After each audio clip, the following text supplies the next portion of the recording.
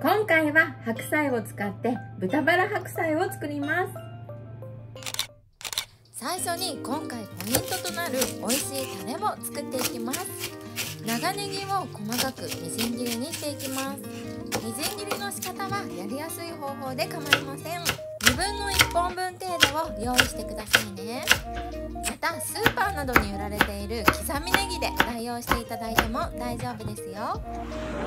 長ネギが切れたらボウルに移しておきましょう。そこにニンニクをすりおろしていきます。時間のない時はチューブのニンニクを使用していただいても大丈夫ですよ。さらに生姜をすりおろしていきます。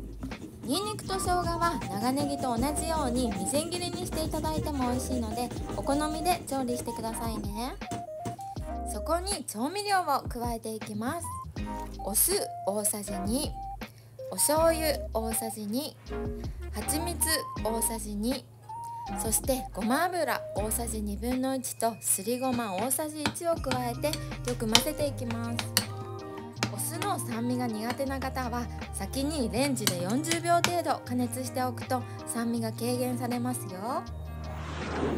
そして今回の主役となる白菜の準備をしていきます。よく洗った白菜を軽くキッチンペーパーで拭き取ります。芯の部分を切り取り大きい葉の部分を取り分けていきます。今回は白菜と豚肉をミルフィーユ状にしたいので大きい葉の部分の方が使いやすいですよ。芯に近い柔らかい葉の部分も最後に少し使用するので取っておいてくださいね。最初に白菜の一番大きい葉の部分から使用していきます。白菜の上に豚バラ肉を2枚程度置き塩を振りかけます。そして今度は白菜の向きを変えさらに豚バラ肉を置きます。同じように軽く塩を振りもう一度白菜を置いていきます。この作業を繰り返していくとこのようにミルフィーユ状になります。ここから4センチ程度に切っていきましょう。崩れないように気をつけながら優しく切ってあげてくださいね。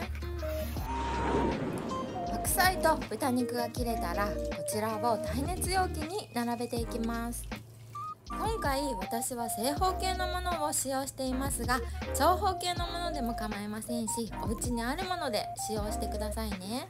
最後に隙間のところに先ほどの柔らかい葉の部分を入れていきましょう。こうすると見た目も綺麗に仕上がりますよ。加熱する前にみりん大さじ1料理酒大さじ1鶏ガラ顆粒小さじ1分の1をよく混ぜておきます。